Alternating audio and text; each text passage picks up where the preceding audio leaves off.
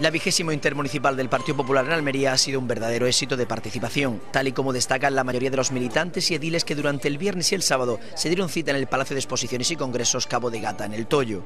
Las expectativas se superaron con creces, pues además de haberse sentado las bases del nuevo municipalismo y de la próxima reforma de la administración local, todos los actos se han desarrollado con normalidad, sin contratiempos y dentro de un clima que muchos describen como familiar. Precisamente fue el propio presidente de la Diputación Provincial de Almería y alcalde de Roquetas de Mar quien indicó que estos dos días han sido una reunión de la familia del Partido Popular y asegurando que el respeto se gana con trabajo y sacrificio. No tenía respeto España, hoy es diferente.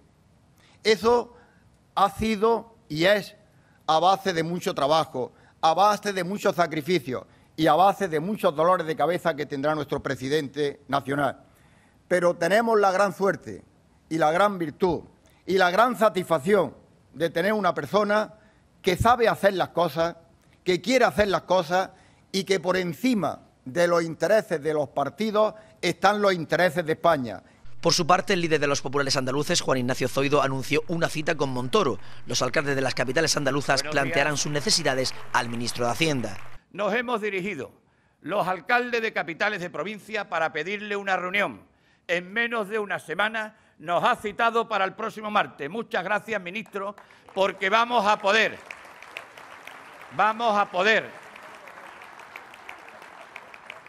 transmitir nuestras necesidades para que sean atendidas.